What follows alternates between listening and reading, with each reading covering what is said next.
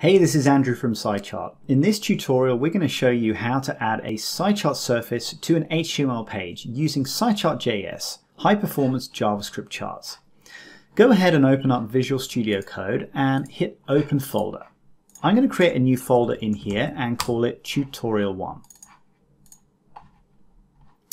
The first thing we want to do is open up a terminal and type the command npm init Choose all of the defaults here, including index.js.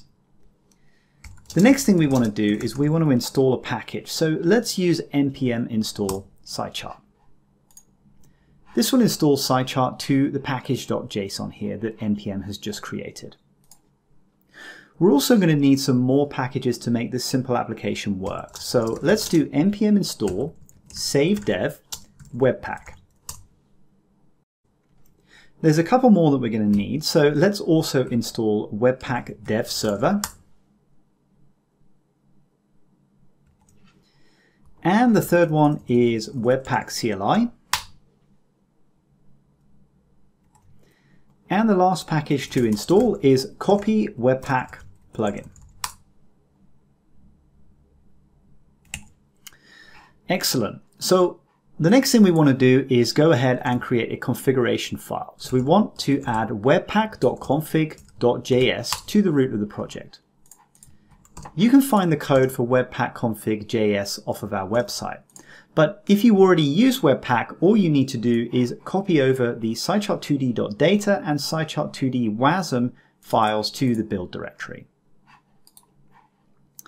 Next, go ahead and create a folder called source. And in source, we want to create an index.html and we want to create an index.js. The HTML file is simple boilerplate. What we have in here that's, that's special is a div with the ID SciChart root. This is where we're going to add our SciChart surface. In order to declare and add the SciChart surface into HTML, let's do this in JavaScript. Start off by creating an async function called init And we want to call this immediately. We're going to need some imports, so I'm going to go ahead and import SciChart surface from SciChart, charting, visuals, SciChart surface. And while I'm here, I'm also going to import numeric axis from SciChart, charting, visuals, axis, numeric axis.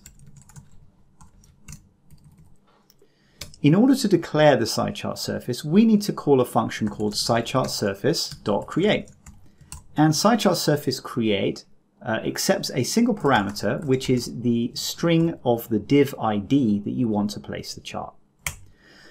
This returns a promise. So what we're going to do is we're going to get out the parameters SciChart surface and WASM context by awaiting that promise. The SciChart surface is the actual SciChart chart control, and the WASM context is a WebAssembly context that's been created with it. These two are paired. Anytime you add a series or an axis or data to this chart, use the same WASM context.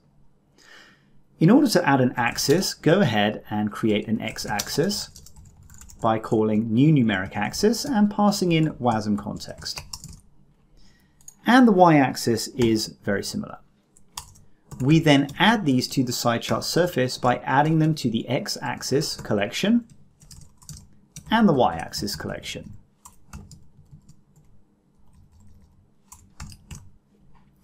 That's all the code, but before we can get this to work, we have to go back to our package.json and add a couple of scripts. So let's add a script in here called build, and this is simply going to call webpack. And another one called start, and this one's going to call webpack dev server. There we go. If we've done everything correctly, we should be able to call npm start. And once it's built, if you visit localhost 8080, you'll see a SciChart surface has been created and added to the page. Join us in tutorial number two where we're going to go on and show you how to add data to this chart including different series types and further tutorials will show you zooming, panning, legends, annotations, real-time updates and more.